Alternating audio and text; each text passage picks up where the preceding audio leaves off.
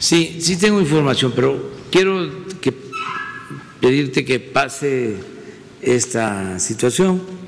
Eh, solo eh, comentarte que he estado pendiente de, y de la situación de los enfermos.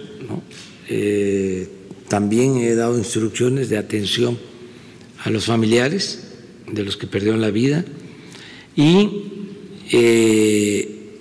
la Fiscalía de la República ha continuado con la investigación y ya se tiene eh, los resultados, ya se sabe eh, las causas y eh, de los posibles responsables. Y se va a actuar legalmente. Eso es lo que puedo comentarte, pero le, das, le he estado dando seguimiento. Acerca de lo otro, pues aquí con el doctor Alcocer para ver eh, qué se va a hacer con ese hospital, aunque pertenece a Pemex, tiene que ver con el sector salud.